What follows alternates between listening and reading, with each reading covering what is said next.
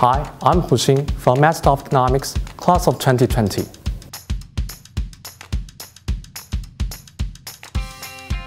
I chose the theory stream.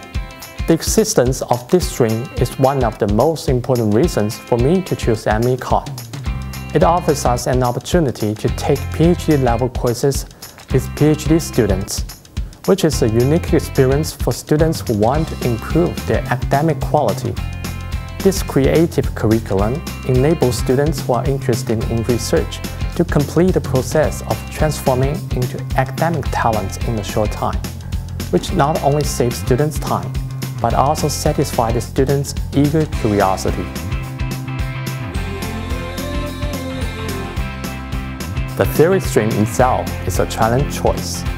Taking PhD courses with PhD students means that we need to upgrade our knowledge system from undergraduate level to PhD level in a short period of time.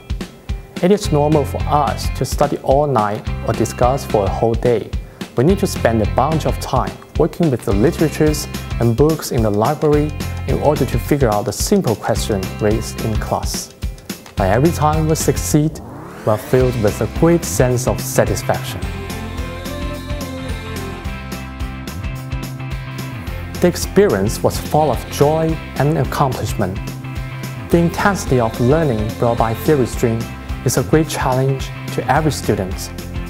However, what we experience in the capstone course is gladness, because the previous academic training enables us to skillfully use the knowledge that was once difficult to understand in the former courses.